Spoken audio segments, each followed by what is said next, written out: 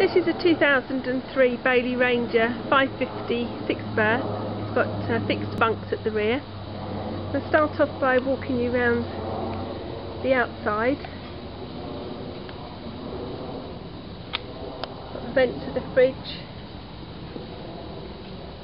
There's a small, small little mark there, and one here.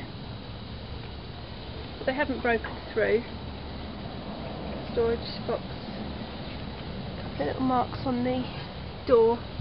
They're nothing too serious at all. Again, a few little little marks. We walk round the rear. There's uh, no window at the back because of the bunks. Little door there, hatch that opens up to release the toilet cassette for emptying.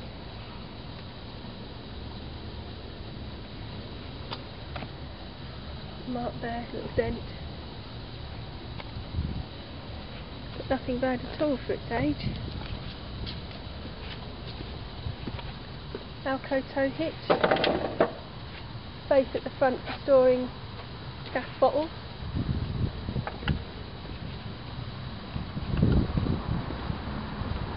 So if we go inside, stable door and if we just open that like so you can see that up here the fly screen that comes down.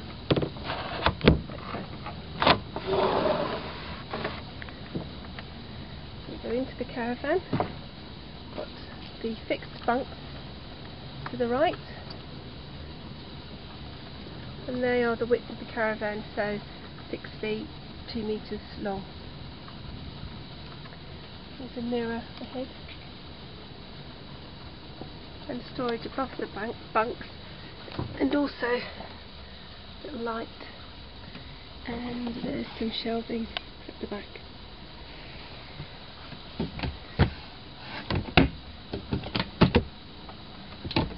Nice and handy space. And also beneath the bottom bunk is further storage. Got there the ladders that um, access to the top bunks. And in the photographs on the website you may have seen I did erect the bunks this side. But when they're not bunks it's a little dinette area.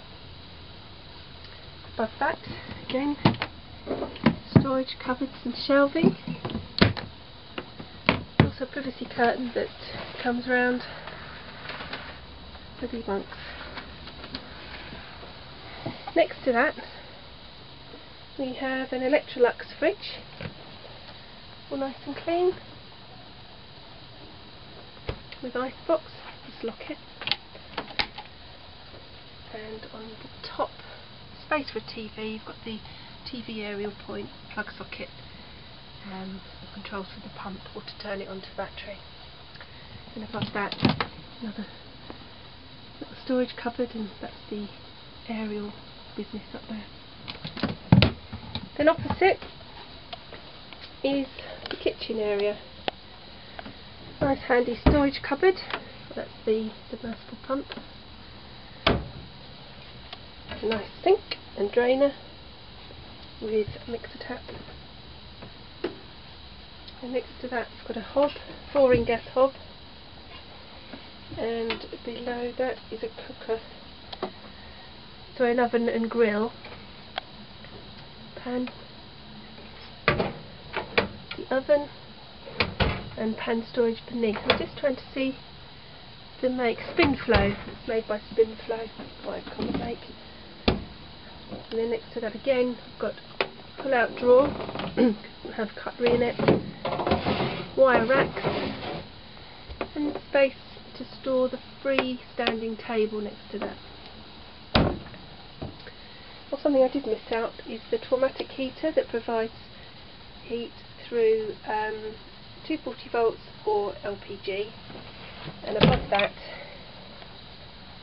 we've got a hanging wardrobe cupboard.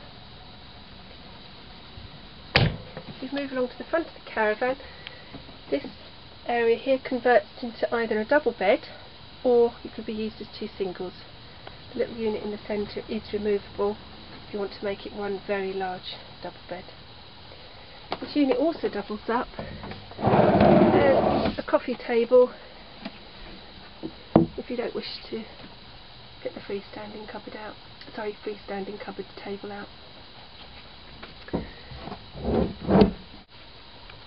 All the windows fly screens, blackout blinds, and also curtains. Apart from the kitchen, doesn't have curtains. And again, storage. Got this little drinks cupboard above large shelf and some more storage. If we go back to the rear of the caravan, I can show you the shower room.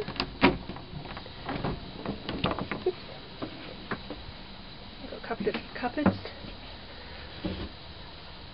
There's one below the sink. Oops, quite stiff. Then you've got little sink, vanity sink, and this and fixes up onto there and acts as the shower. Got a curtain to separate it from the Thetford toilet so it doesn't get wet. And again, there's a mirror.